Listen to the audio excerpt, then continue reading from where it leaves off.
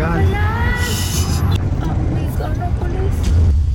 Naku, yari tayo. Di, may polis. Wait lang ay. Ayun, lalabas yung polis. Wala nga kayo. Hindi, ayusin mo. Ayan, lang tayo eh, oh.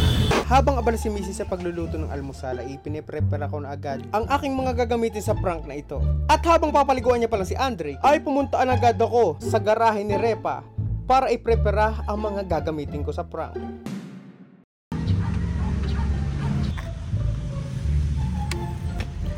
Yo, what up sa inyo mga koy? Welcome back to my channel and panibagong members na naman. So for today's video, eh medyo kinakabahan ako dito sa gagawin natin na to kasi ipaprank natin si Mrs. At ang prank na to ay ang busina prank. Alam naman natin na si Mrs.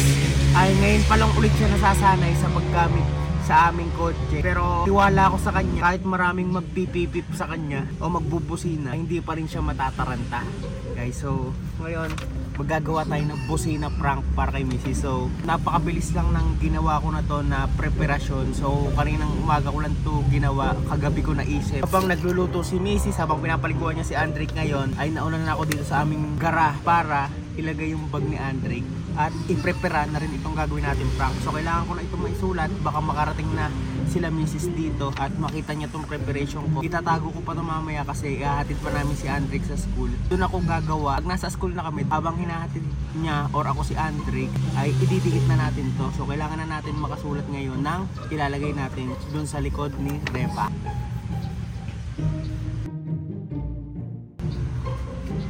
So ito yung isusut ilalagay natin sa likod guys.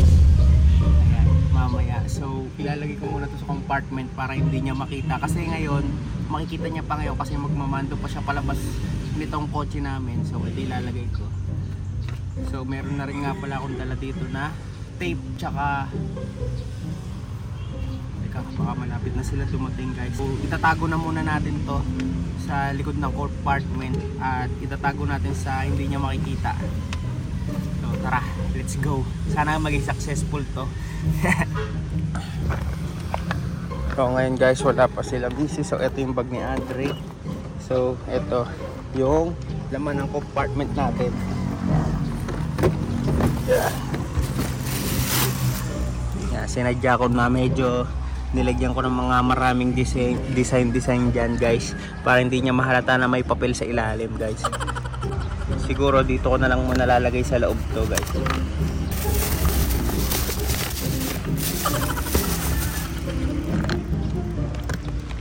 So doon natin siya lalagay. Tapos ididikit natin siya mamaya dito.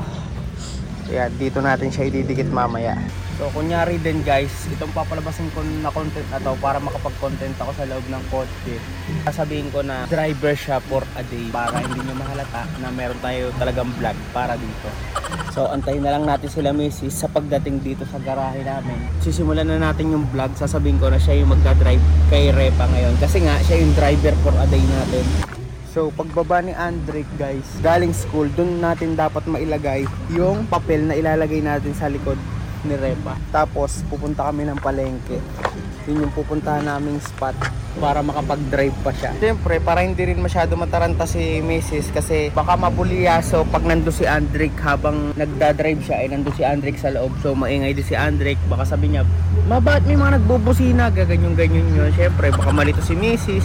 So, bumaba siya, masira agad yung plano natin. Kailangan may baba muna natin si Andrick. Tayo na lang natin sila Mrs. Tapos, start na natin to. Let's go. So ayan guys, tayo na rin ang nag ano, naglabas kay Repa. So ayun na sila Mrs. Ngayon ko pa lang sa kanya sasabihin na siya yung pagdadrive natin guys. So pupwesto na tayo sa kabila at para mai-set up na natin tong gagawin natin. Be, ikaw ang magdadrive ngayon. Driver for a day, ha? Ha? Yeah. Nak.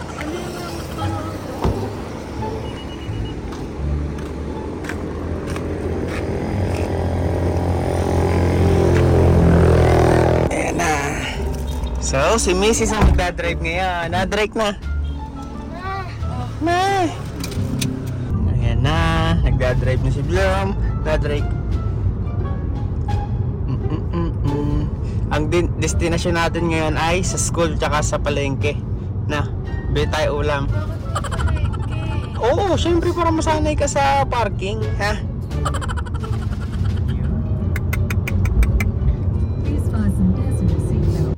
Sa mga oras na to, iniisip na natin kung paano diskarte ang gagawin. So guys, kanina meron kami nadaan ng jeep, meron madik- medyo madikit si Mrs. Oo, sobrang dikit daw. Pipipip ka muna pag ano. Pinipitan ka, di ba ako narinig? Hindi. Ah, nabusina din naman. Dapat lagi kang nabusina pagka ano, merong lalabas na ano, na tao na hindi naman siya palakad pero nakabuelo siya. Kailangan isang busina lagi sa ganun. Tsaka may mga sasakyan may tricycle na paatras busina para marinig ka nila na nandun.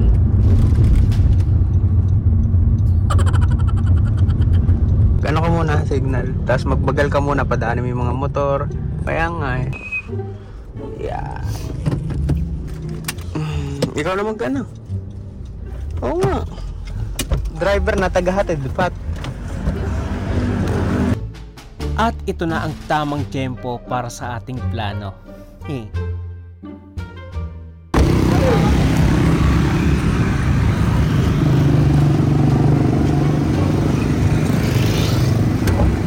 Face mask, ka face mask.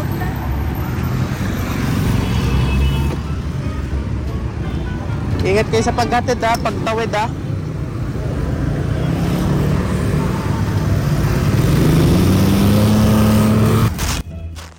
Ngayon, bago makabalik si Mrs. ay kailangan na natin ma-set up itong gagawin natin.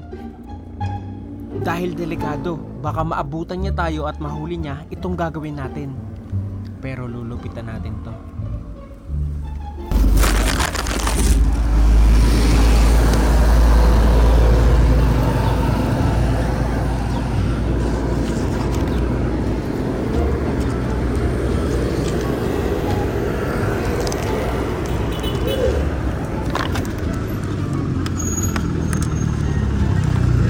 Medyo gumulo guys ang kuha natin ng camera kasi pinaspasan na natin. Kasi eto na siya. Ito nga magdadrive eh.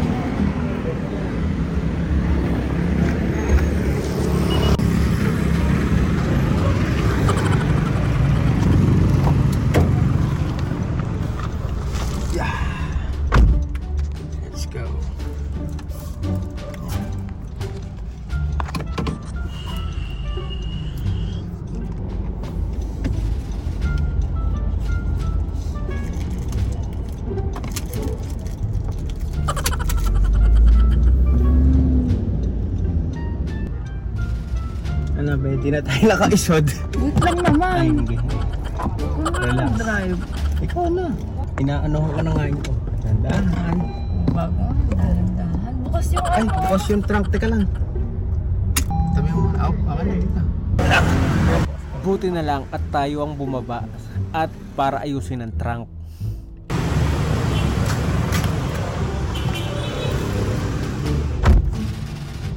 Nakabukas pala yung trunk. Ah, galing na mag-drive. Hindi, hindi dapat sinasabihan na magaling mag-drive. Kailangan nakapokus lagi siya sa mga ginagawa niya. Oo, oo, oo, oo. Yan, yan. Nakabang pagtigil. Bago tayo pumunta sa palengke, may gagawin muna tayo. Ginagawa namin ni Mrs. pagka mga ganitong oras pa, maaga-aga pa ngayon. Pumunta na naman tayo sa bayan. Anong gagawin natin sa bayan? Yun ang Pontisol. Yeah. Skip-skip kami. Kasi yun yung nga challenge natin kay Mrs. Yung mga ano, syempre, ganito talaga pag nagda-drive kasi siya matagal na talaga siya nagda-drive guys. Kaso lang hindi siya lagi nagda-drive. Yun lang yung ano. Nakaisip ako ng paraan para mas mapahaba pa ang biyahe namin. Natingin nga pala siya sa side mirror guys. Kasi ganyan ang tunay na driver. Maya't maya natingin niya sa side mirror gamit lang yung mata niya. Syempre mata yung oo nga naman hindi ibig sabihin hindi yung nagalaw na ganun kasi makikita mo yung tunay na driver pagka ito lang yung ginagamit.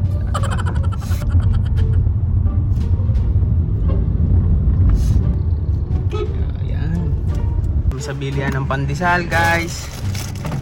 Nasikip na ba? Hindi naman nasa tabi ka na. Okay na. Tabi ka muna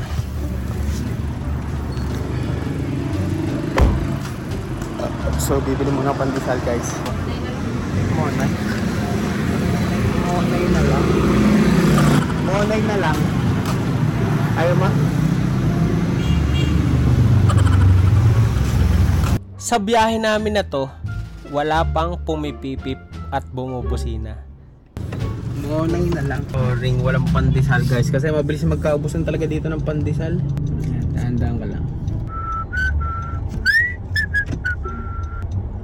Oo, bakit nasa one way yun? Parang galit pa siya. Oo, oo. One way yan eh. Loko yun, dun dumaan. no? Tapos dun pa ulit dumaan sa one way ulit, no? Yan, nawawala na sa'yo ang kalituhan. Nakarating na kami sa public market, oh. Malupit, malupit.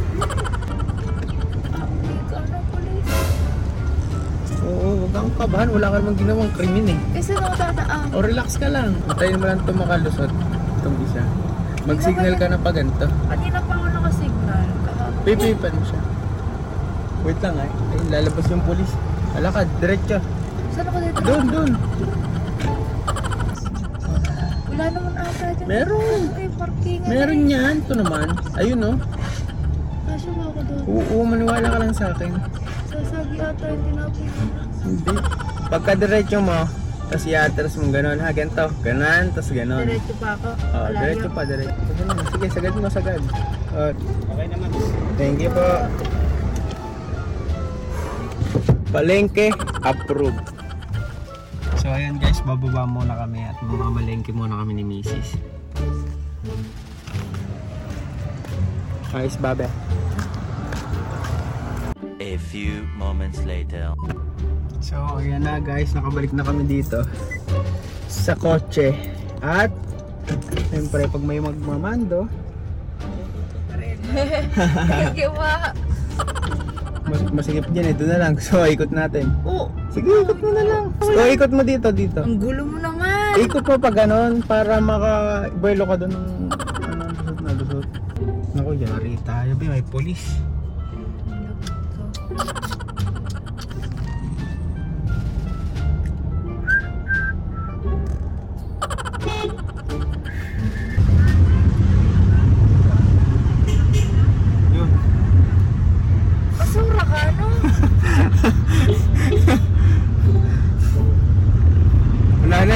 Na. Baka nag-signal lang siya, nagpipipip siya, liliko siya.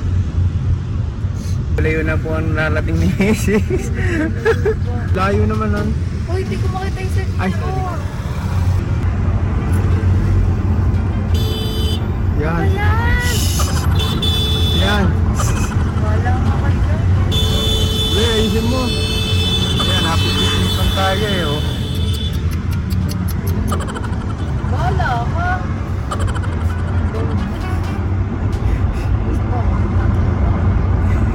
Focus ka lang, be, tama yan. Focus ka lang. Bakit ba? Ba't ano?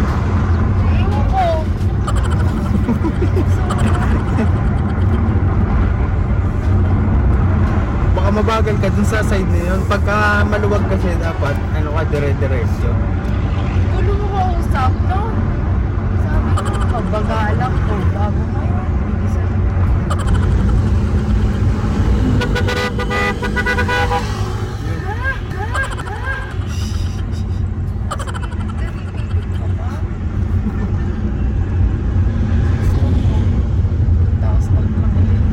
ano lang yon pahiwatik lang yan na pupunta na siya dyan.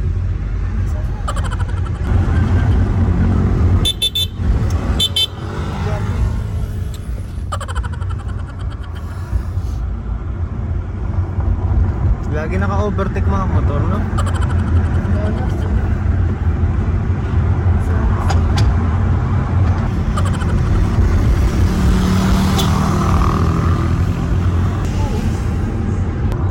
So yun guys, malapit na kami mag-park. Tingnan natin kung magiging successful ang parking ni Mrs.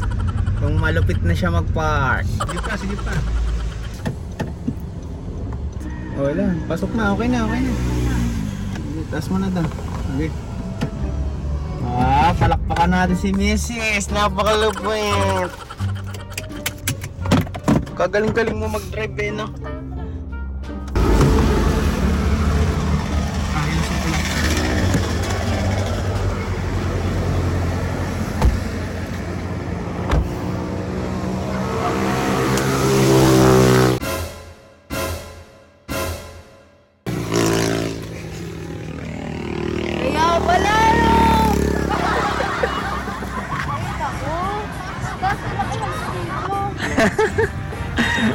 Ano, be? Napakalupit. At least magaling pa din ako. Dala. Sa busina. ano? ano, be? Sanay na ako sa busina. Hmm. Hindi, yung bagay challenge din para sa'yo. Galing ka na. No, para kahit pipipan ka ng pipipan, masasan kung sanay ka talaga, eh malupit ka. Hindi ka matataranta. Nagkaroon na ba? Hindi. Galing ka na. Ano? To. Nasa iyo pala. Kanina? Oo, nasa lahat ako regalo ni Andre. Sabi ko, eh, dito ko lang ito nilagay. Ba't nawala? Lupit ka na. Tapon mo na. Maliit pa tong nilagay ko, ano? Busina pa rin sila, na. Oo, mga motor lang na busina kasi nakikita nila pag natin. Oo, pag malapitan? Tapos, Ano na? lago-lago ka ng pencil ko. Oo nga. Matatakot ka siguro kapag air combust doon.